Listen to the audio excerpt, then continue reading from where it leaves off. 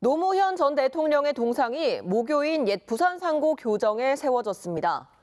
개성고 총동창회는 어제 오후 부산 진구 단감동 개성고등학교에서 노 전 대통령의 서거 10주기를 맞아 제막식을 열고 노 전 대통령의 동상을 공개했습니다. 동상은 노 전 대통령이 벤치에 팔을 기대고 앉아 있는 모습으로 옆에서 기념사진을 찍을 수 있는 형태입니다. 노 전 대통령 동기회는 지난해 총동창회에 건립 추진문을 보내 동상 건립 운동을 시작했고 3억 원의 모금액을 달성한 뒤 동상을 제작했습니다.